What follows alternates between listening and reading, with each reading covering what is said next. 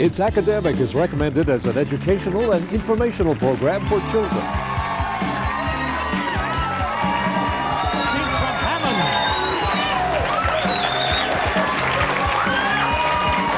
Wilde Lake.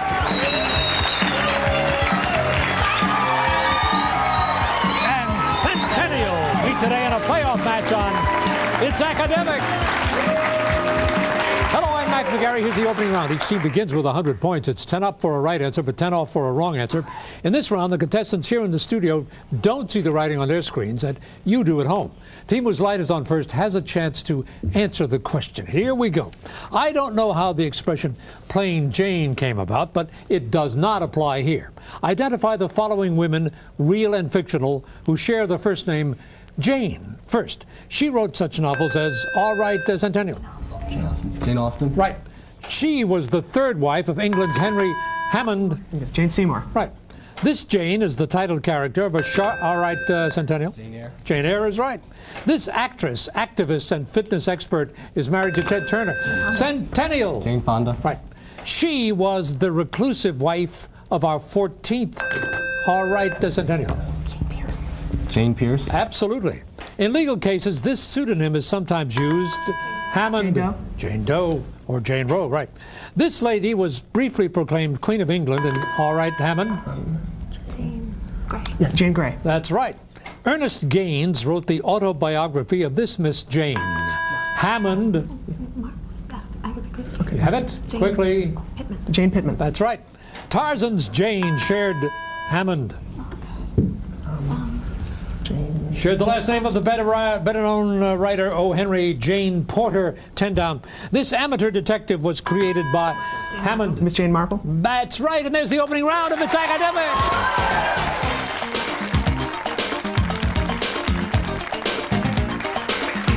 It's Academic. Brought to you by Giant Food. Giant. Fresh ideas, great value. That's Giant.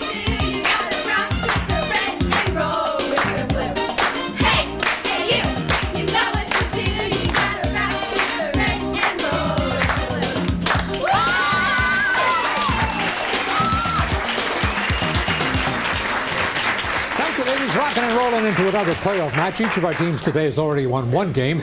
Today's winner goes to the semi-final round. So here's winner number one.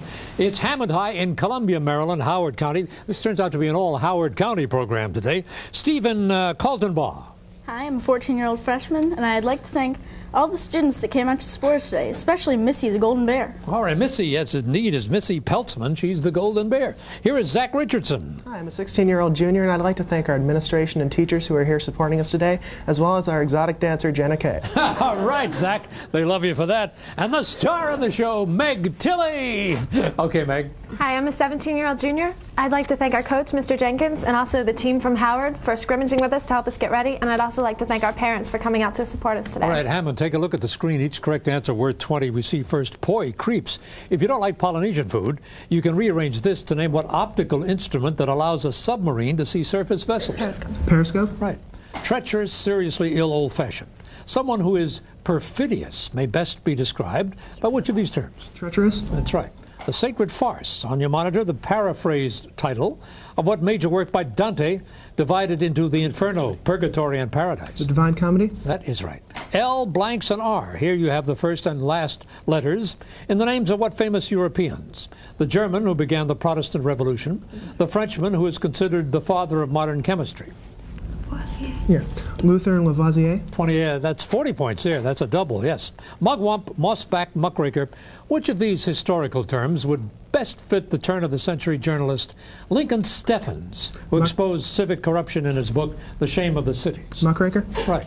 If you have tears, prepare to shed them now.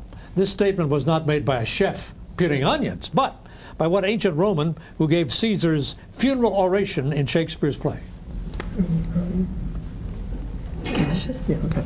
Cassius. Mark Antony. So good run, though, Hammond. 260 after your part of the round.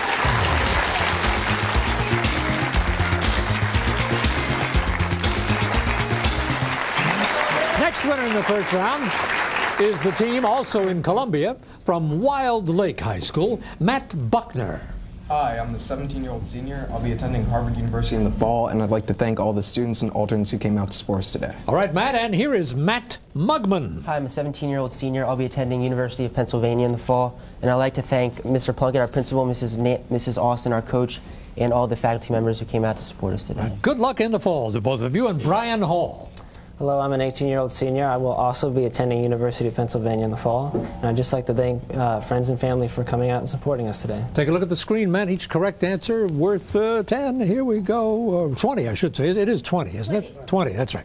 Robe me, rat. Rearrange the letters in this anagram to name what sort of device invented by Torricelli that measures atmospheric pressure. Barometer. That's right. Conquer, understand, forget. If someone told you he wanted to subjugate the world, he would be expressing a wish to take which of these actions? Conquer it. Of course. The myth of Drowsy Valley. Here you have a paraphrase of the title of what Washington Irving's story about Ichabod Crane. The Legend of Sleepy Hollow. Right. F blanks T. These letters begin and end the last names of what two men? The German scientist who developed our common temperature scale, the American admiral who won the Civil War Battle of Mobile Bay. Fahrenheit and Farragut. 40 points. Lusitania, Johnstown, stock market. Many anniversaries are happy occasions, but most people would rather forget that 1999 marks the 70th anniversary of which of these? Stock market crash. Right. Life is a great adventure. This enthusiastic quote comes from what American president who enjoyed many adventures as a big game hunter and as a cavalry officer in the Spanish American War. Theodore Roosevelt. He's the man. Wilde Lake 240 after your part of the round 240.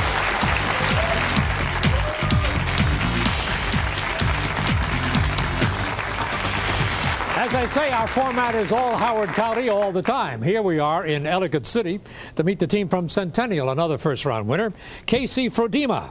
I'm a 16 year old junior. We'd like to thank our alternates Deep, Vic, Tim, Bobby, David, and Howard. Okay, Casey. Charles Lynn. I'm an 18-year-old senior. I'll be attending Princeton University in the fall. I'd like to thank our drill team and pep band for coming out to support us today. Okay, and Albert Luo. I'm a 16-year-old junior. I'd like to thank our principal, Mrs. Linda Middick, our coach, Mr. Rod McCaslin, and our friends and family for coming out and supporting us today. And I want to thank Dave Garris, Matt Kircher, Kristen Wilhelm, and Scott Paulus, members of the band, whom you will be hearing later on. All right, Centennial, here you go. We see first one turn.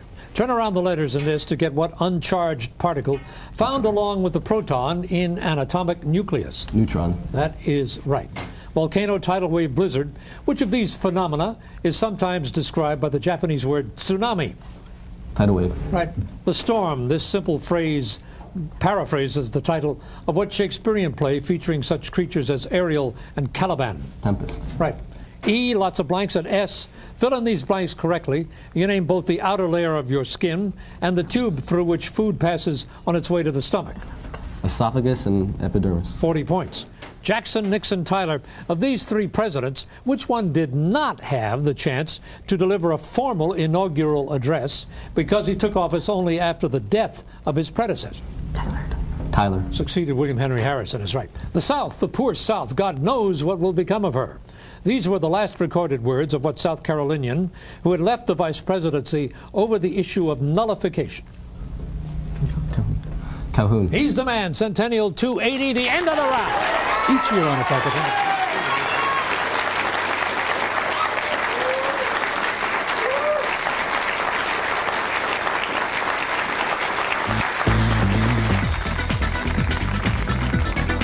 Each year on It's Academic Giant Food awards more than 100 scholarship grants to help deserving students continue their educations. Because this is a playoff match, today's grants total $1,200, with the winning team school receiving $500 and each of the other schools $350. During the school year, grants to schools appearing on It's Academic are over $85,000, and over the years Giant has been our sponsor. They have contributed more than $2 million to participating schools. Giant Food doesn't select the individual scholarship recipients, but leaves that choice and the administration of the funds to the schools. This scholarship money has gone to help students attend colleges and universities across the country, where they study everything from accounting to anthropology, art history to nuclear engineering. We at It's Academic and Giant Food wish them all the best in the future.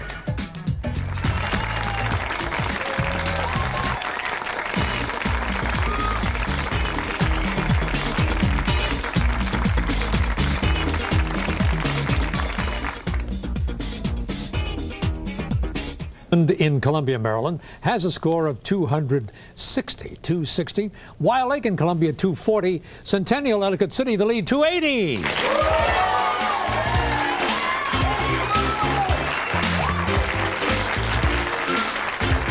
Now it's time for our all visual round. Each correct answer worth 10 to the team, but 10 off for a wrong answer.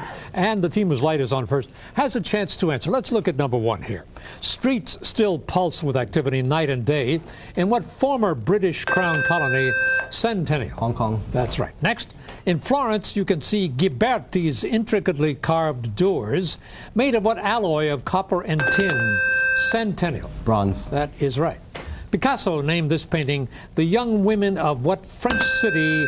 Centennial Avignon is right. For x not equal to 1, this is the equation of a straight line. What is its, all right, uh, Centennial? Five halves. Its slope is 5 halves is right. You can see the determination in the face of what 16th century English queen, Hammond. uh, First? Okay. Elizabeth the First? No, I'm sorry, Mary Tudor the first, not Mary Tudor, the Queen of Scots, but your answer was wrong anyway, so 10 down. This multicolored ceremonial headdress was worn by a member of the Comanche tribe of Native Americans, most of whose members are located today in what Sooner State? Centennial. Oklahoma. Right. Entitled The Balcony, this picture was not the work of Monet, but of what other French artist? Wilde Lake. Manet. Manet is right. Back in 1938, these Washington, D.C. women chained themselves to cherry trees scheduled to be cut down to build the memorial to what third centennial? Jefferson. Right. When this coin was originally minted in 1877, it was worth how much money? The equivalent of 1,000 Nick or Hammond. Your answer. Ten dollars? $50, send down. No candidate for anyone's best dressed list. This actor is portraying the title character in an old movie made from what Daniel Defoe novel, Wilde Lake. Crusoe. That's it, and there's the end of the round.